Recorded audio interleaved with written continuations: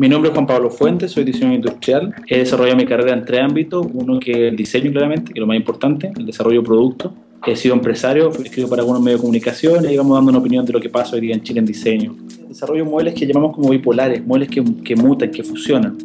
Eh, siempre mis muebles tienen un cambio, por ejemplo, mesas que dan vuelta y cambian de color, estanterías que se pueden modular. ¿Por qué? Porque hoy día creo que los espacios son cada vez más pequeños. La gente se aburre con el tema de muebles, le gusta que el mueble cambie. Como no podemos comprar los muebles cada semestre, ni tampoco hoy día en Chile o en Sudamérica hay tiendas que tengan muebles de tan bajo costo, lo que me gusta es que el mueble se pueda transformar según lo que el usuario necesite. Así que yo creo que lo que hay que hacer es hacer un diseño de autor en base al público.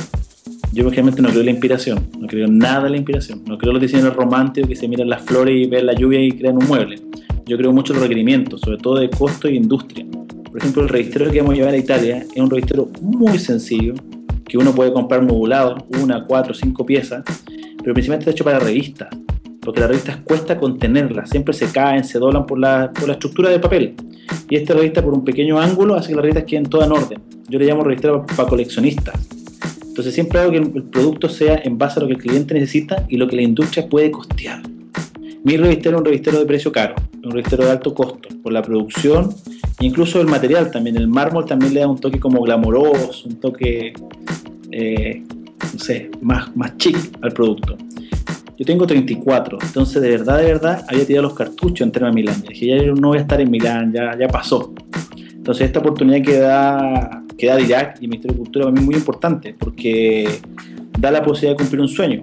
Así que nada, se está trabajando con gente de primer nivel, corresponde que hagan un buen trabajo porque si lo hacemos bien nosotros, las generaciones que vienen más atrás van a también tener la oportunidad de disfrutar de estos beneficios.